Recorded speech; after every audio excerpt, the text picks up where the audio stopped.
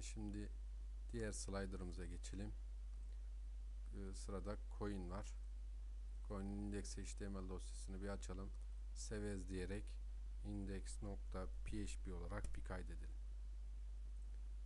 Kaydettikten sonra index, index html artık ihtiyacımız yok.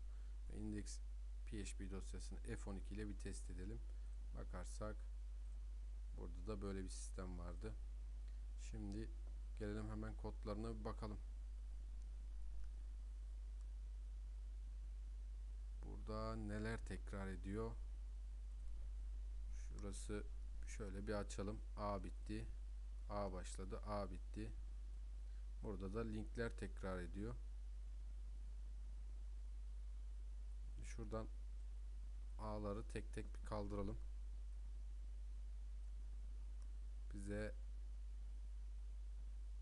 hem caption olan bakarsak birinci slider'ımıza caption'ımız yani şu alanımız var açıklama kısmımız. O zaman sadece birinci slider'ımız kalsın diğer ağları bir yok edelim. Tekrar eden kısım bu ağlar. Bize de bunlar lazım. Şimdi hemen yine gelelim. Record set diyelim. Burada tek kayıt seti bizim işimizi çözecektir. Herhangi bir şey yapmamıza gerek yok RS slider diyelim hemen. Bakalım kayıt setine slider 2'yi mi aldı, slider 1'i mi aldı? Ona göre işlem yapalım.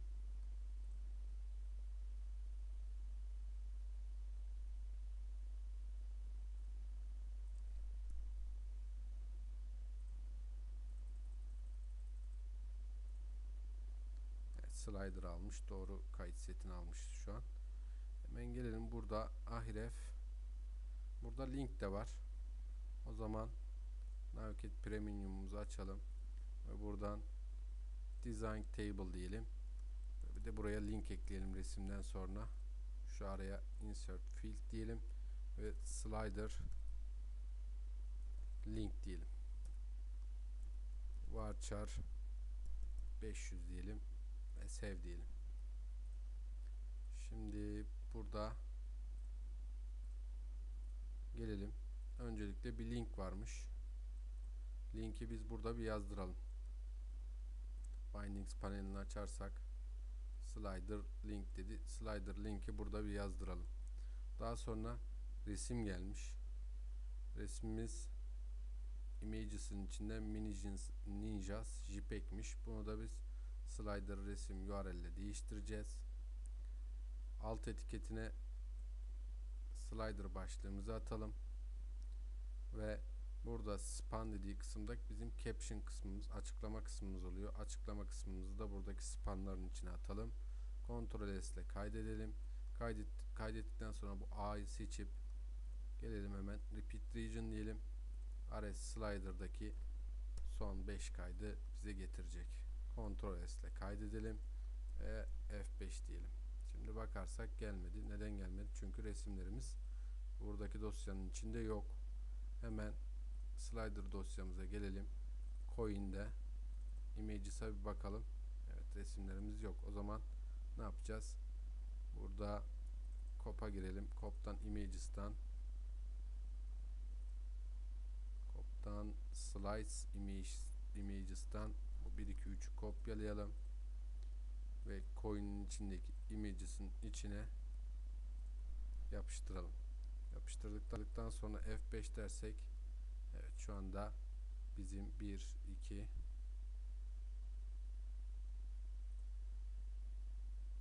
şurası 3 burası da 5 1 2 3 4 4'te bakarsak aynı resim sabit olarak kaldı. Çünkü 4'te bizde yine resim yoktu. Biz şimdilik buraya yine şöyle gelelim. Navigate'i açalım. Slider kısmına grid view'u alalım bunu. Buraya bir nokta JPG diyelim. Yine bunda da aynı şekilde resim yüklemek zorundasınız. Bakarsak 4'e resim var mı? Var. Tamam herhangi bir sıkıntı yok. 1'e bir bakalım. Tamam doğru. Eğer caption'ımız yoksa örneğin buradan herhangi birinin açıklama kısmını silelim. Şu şekilde sildik. F5 diyelim. Bakalım açıklama kısmı gelecek mi yine?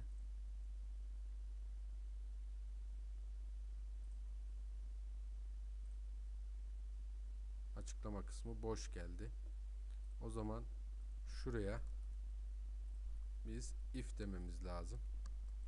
Her zamanki gibi if'lerle burayı halletmemiz lazım.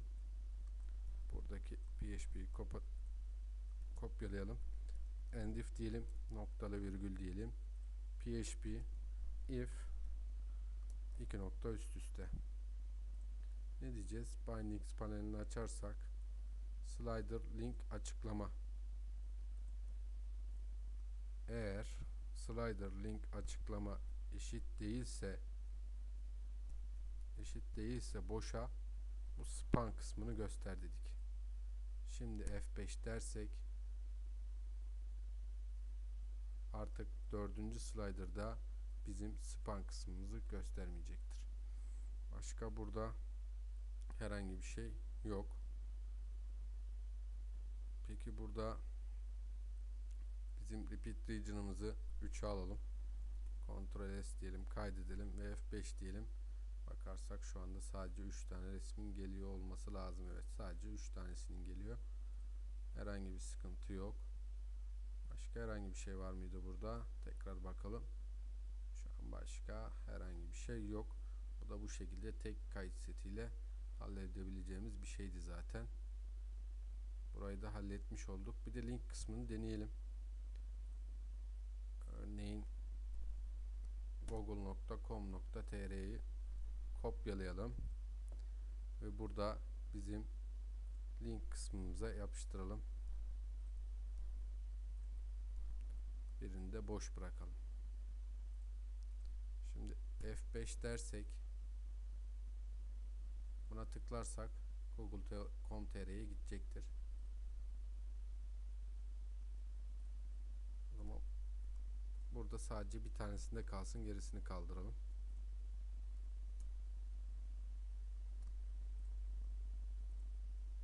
Şimdi tekrar F5 diyelim. Bakarsak bunda google.com.tr geldi. İkinciye geçelim. İkincide tıkladık. Tekrar kendisini açtı.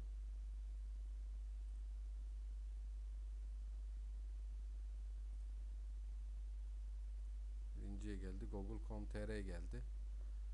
Burada da yine if if yazabilirsiniz. Eğer e, boş değilse linke gidecek. Eğer boşsa da diyez işareti koyup if ile çözebilirsiniz. Veya linki tamamen de kaldırabilirsiniz. Eğer bir yere gitmek istemiyorsa direkt buraya diyez işareti koyarak F5 diyelim. Şimdi bakarsak hiçbirinde link gelmeyecektir ama yine boş sayfada açacaktır. Yine o zaman boş sayfayı da aynı if'in içine almanız lazım. Eğer yapacaksanız eğer link kısmı olmasın diyorsanız da direkt diyez deyip ve target blank'i kaldırırsanız herhangi bir sıkıntı olmayacaktır. Bu şekilde sisteminiz yine çalışacaktır. Bunu da burada bırakalım. Bir sonraki derste de full full kısım full slider'ımızı dinamikleştirelim.